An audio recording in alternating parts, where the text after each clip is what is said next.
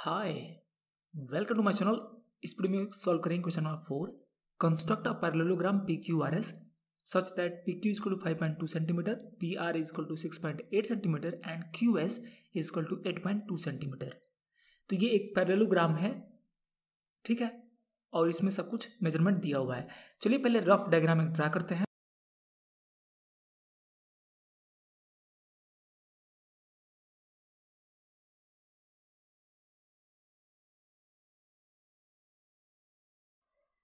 Okay तो हमने एक रफ डायग्राम यहाँ ड्रा कर लिया है, ओके? तो यहाँ पर आपको बस मिला है P Q one side okay? और दो डायगनल्स आपको पता है। पी आर आपकी वैल्यू दिया है six point eight centimetre and Q S जो वैल्यू है वो है आपका एट पॉइंट टू सेंटीमीटर तो यहाँ पर जो मेन कॉन्सेप्ट आपको जानना है, वो ये है कि हम जानते हैं कि पैरेललोग्राम के जो डायगनल्स होते हैं, वो एक दूसरे को बाइसेक्ट करते हैं, ठीक है? बाइसेक्ट करते हैं। यहाँ पर, इस पॉइंट पर, ठीक है? बाइसेक्ट करने का मतलब ये होता है कि जो भी पी आर का लेंथ होगा, उसका ये पॉइंट जो है आधे पर होगा। मतलब कि सिक्स पॉइंट एट यदि पी आर है तो ये जो ये जो पॉइंट है, इसको हम लेटर सपोज़ हम मान लेते हैं ओ फ़िलहाल में ओके तो ये जो पी ओ होगा पी ओ उसका लेंथ होगा सिक्स पॉइंट एट का आधा, ठीक है? सिक्स पॉइंट एट का हाफ़ होगा। सिक्स पॉइंट एट का यदि हाफ़ ये लेते हैं आपको मिलेगा three point four three point four centimetre कहाँ से कहाँ तक? यहाँ से यहाँ तक, ठीक है? और एस क्यू एस क्यू का हाफ़ करेंगे तो एट पॉइंट टू पूरा कंप्लीट है तो इसका हाफ़ होगा फोर पॉइंट वन सेंटीमीटर तो ये यहाँ से हो जाएगा फोर पॉइंट वन सेंटीमीटर कहाँ से कहाँ तक? यहाँ से यहाँ तक, ठीक है? तो हमने ये देख लिया कि ये आपका मिल गया थ्री पॉइंट फोर और ये फोर पॉइंट वन तो यहाँ पर जो कंस्ट्रक्ट करने का तरीका ये है कि सबसे पहले आप पी क्यू ड्रा करेंगे, ठीक है? सबसे पहले पी क्यू ड्रा करेंगे, उसके बाद ये ओ पॉइंट फाइंड करेंगे और ओ पॉइंट फाइंड करने के बाद पी ओ को आप प्रोड्यूस करेंगे आगे की तरफ़ और ओ क्यू को भी प्रोड्यूस करेंगे आगे की तरफ़। तो आपको एस और आर पॉइंट्स मिल जाएँगे और जब एस और आर पॉइंट्स मिल जाएँगे तो we can join each and every points other points okay तो आपको ये भी पता होना चाहिए कि पी ओ यदि थ्री पॉइंट फोर है तो ओ आर ओ आर भी होगा थ्री पॉइंट फोर ठीक है? और ये जो फोर पॉइंट वन यदि आपका ओ क्यू है तो ये आपका ओ एस भी फोर पॉइंट वन होगा पॉइंट वन सेंटीमीटर ठीक है? तो चलिए वन बाई वन इसको हम कंस्ट्रक्ट करते हैं। सबसे पहले हम करेंगे पी क्यू को ड्रा करेंगे, ठीक है? Five point two centimetre P Q length centimetre हो गए। सबसे पहले करेंगे क्या? आपको ये फाइंड करना है पी ओ मतलब कि ओ पॉइंट फाइंड करना है। तो ओ पॉइंट फाइंड करने के लिए थ्री पॉइंट देखिए पी को सेंटर मान करके और थ्री पॉइंट फोर रेडियस के साथ एक आर खींचेंगे। उसके बाद एक दूसरा आर खींचेंगे क्यू को सेंटर मान करके और रेडियस लेंगे फोर पॉइंट वन तो आप ये दोनों जो कटेंगे तो यहाँ पे ओ पॉइंट पर एक पॉइंट मिल जाएगा, जिसको मतलब हम ओ यहाँ पर नाम दिए हैं। तो पहले हम ओ को फाइंड करना चाहते हैं, ठीक है? तभी हम ड्रा कर पाएँगे इसको, और कोई तरीका नहीं है इसमें, इसको फाइंड करने का। यदि होगा तो आप कमेंट बॉक्स में लिख के बता सकते हैं मुझे कि हाँ एक और तरीका है। तो बिल्कुल ही इसके लिए मैं आपको उत्साहित करूँगा कि आप बताएँ यदि कोई दूसरा तरीका भी है तो। ओके तो चलिए यहाँ पर हम ले लेते हैं थ्री पॉइंट फोर सेंटीमीटर का रेडियस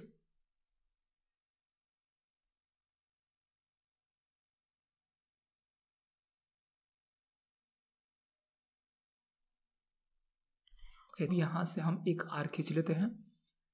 फिर हम सेंटर मानेंगे क्यू को। ओके, यहाँ पर लेना है आपको फोर पॉइंट वन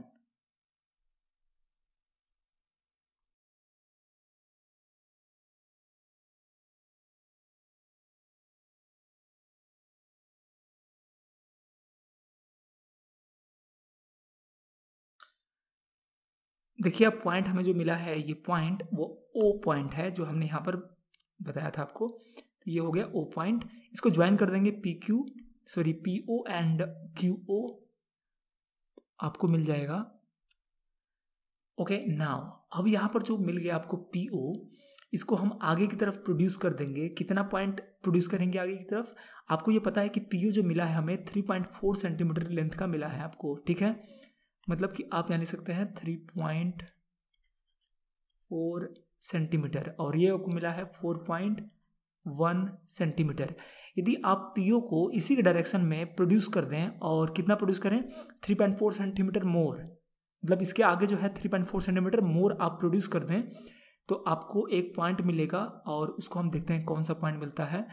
तो यहाँ पर हम पहले, हम ये भी कर सकते हैं कि इस पर हम आर्क ले सकते हैं। ठीक है, इस पर हम आर्क ले लेंगे।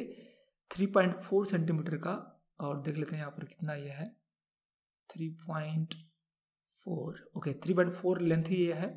तो यहाँ पर इस पॉइंट पर रख करके हम एक आर्क खींच लेंगे। ओके तो हमने यहाँ पर एक आर खींच लिया। अब करना क्या है कि इसको प्रोड्यूस करेंगे आगे की तरफ़ तो यहाँ पर मिलेगा जो पॉइंट वो 3.4 सेंटीमीटर लेंथ का ही होगा, क्योंकि हमने जो आर्क खींचा है, वो 3.4 सेंटीमीटर लेंथ का ही खींचा है। तो इसको हम आगे की तरफ़ प्रोड्यूस करते हैं। इसके लिए हमें यूज़ करना पड़ेगा स्केल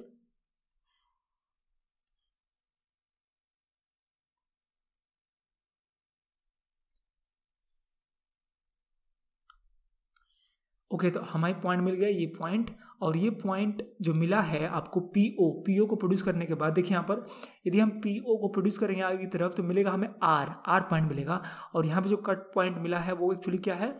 आर है। तो हम यहाँ पर डिनोट कर लेते हैं आर आर ओके? अब हमें नेक्स्ट पॉइंट फाइंड करना है।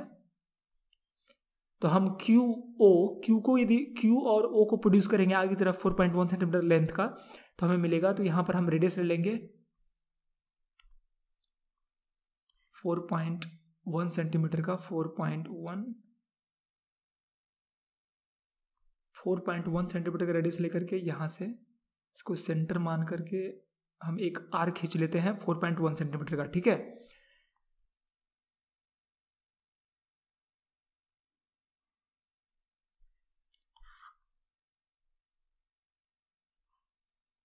ओके अब हमें करना क्या है कि ये जो लाइन है क्यू ओ इसको हमें प्रोड्यूस करना है आगे की तरफ़, और ये जाकर ये कट करेगा, इस इस आर को कट करेगा, और जहाँ भी कट करेगा, वो पॉइंट मिलेगा एस ठीक है? देखिए, यहाँ पर आप देख रहे हैं इस रफ डायग्राम में क्यू को यदि प्रोड्यूस करेंगे तो ओ एस मिलेगा, और ये क्यू एस आपको मिल जाएगा मीन्स एस पॉइंट यहाँ पर मिल जाएगा। ओके तो हमने ये ड्रा कर लिया, और यहाँ पर आप देख रहे हैं बिल्कुल कि यहाँ पर जो पॉइंट मिला है, वो बिल्कुल आपका एस है, ठीक है? तो यहाँ पर आप एस डिनोट कर सकते हैं। अब सारे पॉइंट्स तो मिल ही गए हैं बिल्कुल। सबको ज्वाइन कर दीजिए। तो आपका ये बन चुका है P Q R S parallelogram और आप देख सकते हैं कि बिल्कुल ये पैरेलोग्राम जैसा दिख रहा है। और यदि आप मेजर करेंगे तो पी क्यू की जो वैल्यू है, वही आपका एस आर का होगा, क्योंकि जानते हैं कि opposite sides of a parallelogram are equal तो ये भी फाइव पॉइंट टू सेंटीमीटर का मिलेगा। जो कि आप मेज़र कर सकते हैं। तो यहाँ पर मैं आपको मेज़र कर दिखा देता हूँ कि सच में ये है उतना या फिर कुछ अधिक कम है।